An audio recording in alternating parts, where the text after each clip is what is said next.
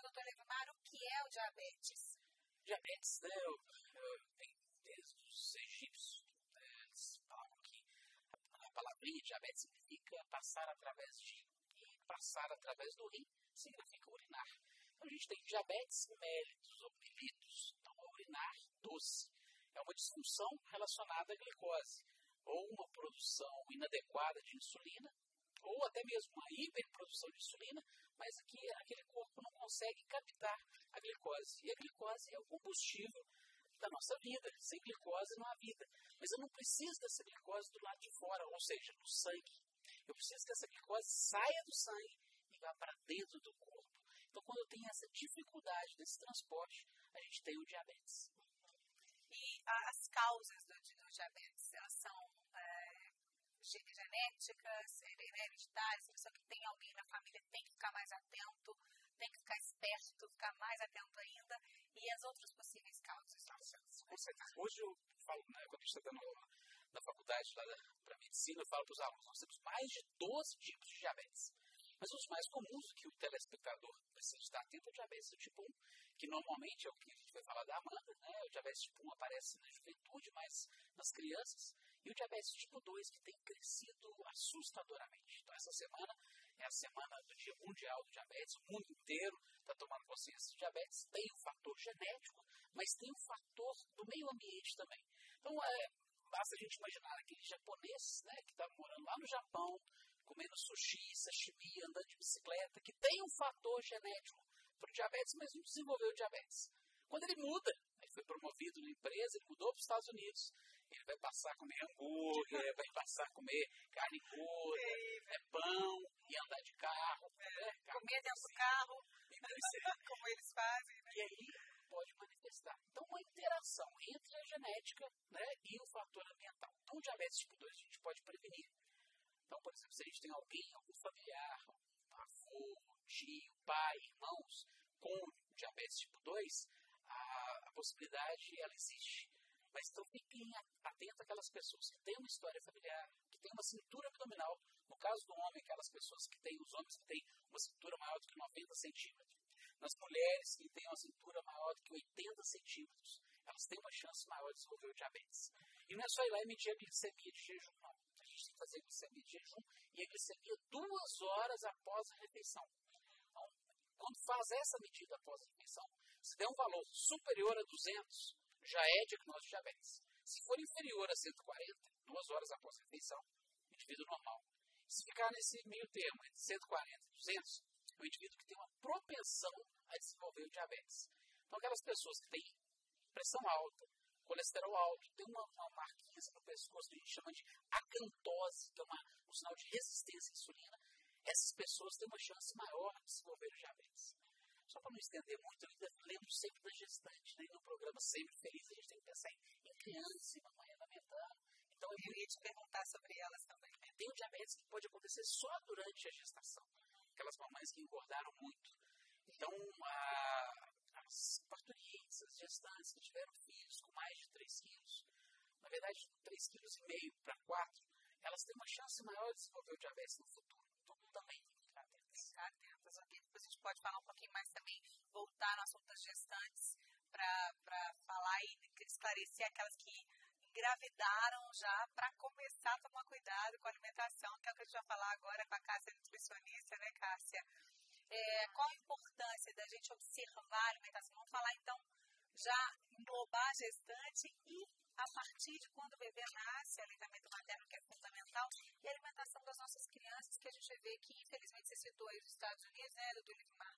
A gente tem importado hábitos ruins, infelizmente, né, dos americanos, que é a, o fast food, aquela comida rápida e muito rica em colesterol, e muito rica em calorias, etc as nossas crianças estão ficando mais hipertensas, mais obesas, a gente está tendo um problema sério com isso. Então, vamos falar a partir aí, a partir aí da gravidez. Né? né? Do início, né?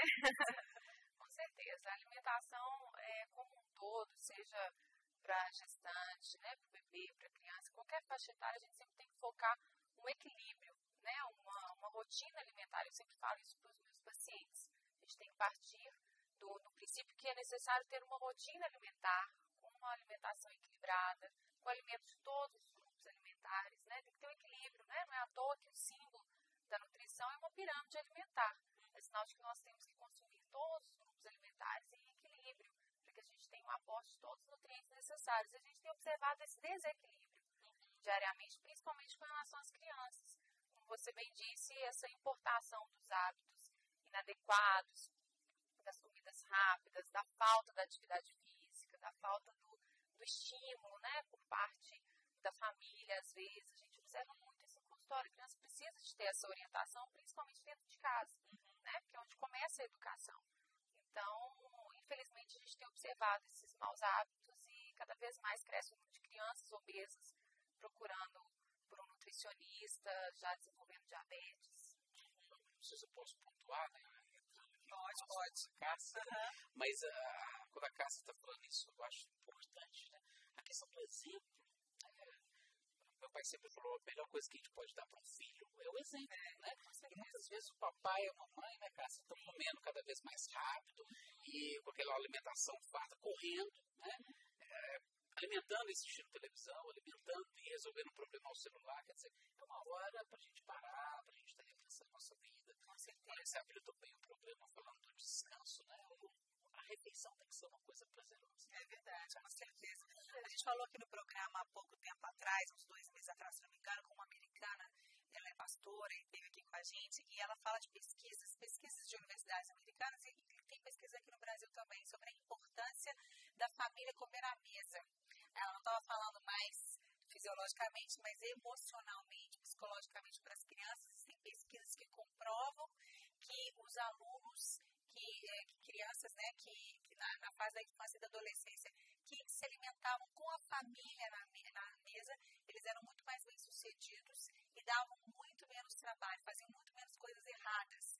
Ou seja, a, o, o, fato, o hábito que tem se perdido pela correria da vida de se comer à mesa, o pai, a mãe, ou que não tem o pai e a mãe, né, que muitas famílias não têm o pai e a mãe, mas que tem ali o núcleo familiar reunido ao redor da mesa para conversar, para olhar no olho, para comer devagar, é bom em todos os sentidos.